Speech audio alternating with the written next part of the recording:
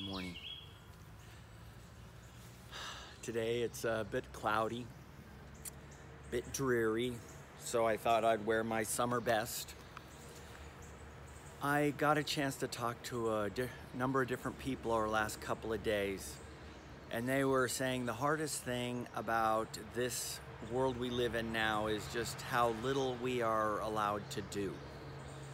And not because they feel like they are somehow entitled to go do things, but we feel like we should be active. We should be out there. We should be involved in doing things.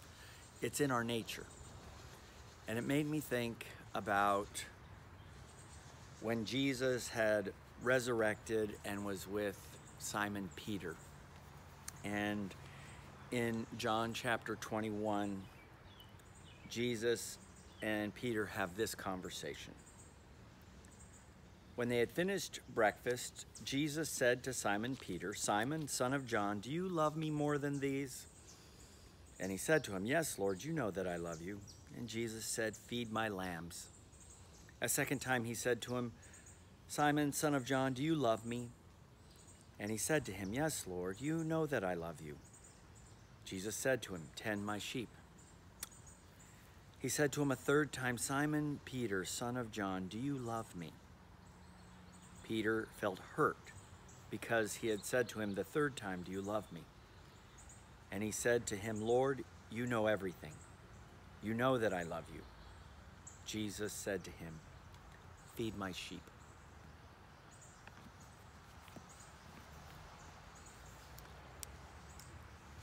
Oftentimes, when people introduce themselves to other people, one of the first things that we say is, oh, my name is Keith and I'm, and then whatever our job is, a pastor, or I'm uh, the father of three kids.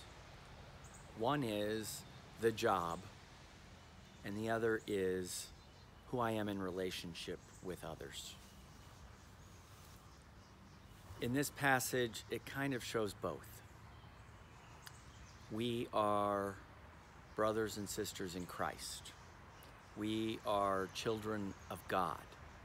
We are the beloved, meaning that we are beloved by God.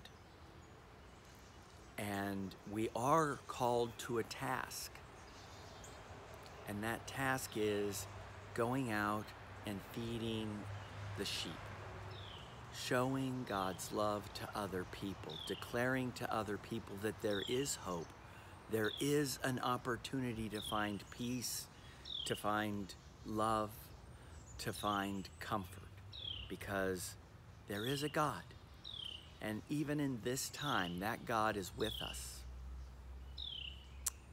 I hope that this week you are able to feel God's love and in so feeling the love, feel the relationship so that you can then go forward and may not be doing exactly what you used to do or what you will be doing next month, but you will be doing something as a child of God, feeding the sheep, tending to and caring for a world in need. Let us pray. God, help us to see who we are. Help us to identify ourselves as your children that you love. And with knowledge of that love, with an experience of that love, let us go forward caring for the people around us, having that job be one of the biggest jobs that will be on our plate for the next couple of weeks. We make this prayer through Christ our Lord. Amen. Have a blessed day.